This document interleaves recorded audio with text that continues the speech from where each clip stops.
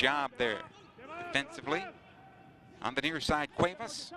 However, the clearance not good enough. Good opportunity here for San Diego as they push it forward. Another chance here inside the 18. Galaxy trying to bunch it up. The shot towards goal. They score! Just like that. Inside the first minute of play, San Diego Loyal taking the 1-0 lead. Goal coming to Miguel Berry. They say in the UK at sixes and sevens defensively. Rubin gathers three, de three defenders, and Berry left all alone. You can't